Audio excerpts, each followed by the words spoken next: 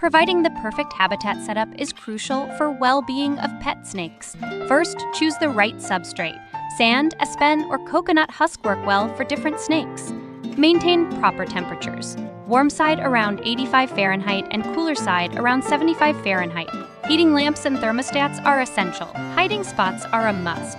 Use rocks, logs, or commercial hides for security. Remember, replicating their natural environment ensures a happy, healthy pet snake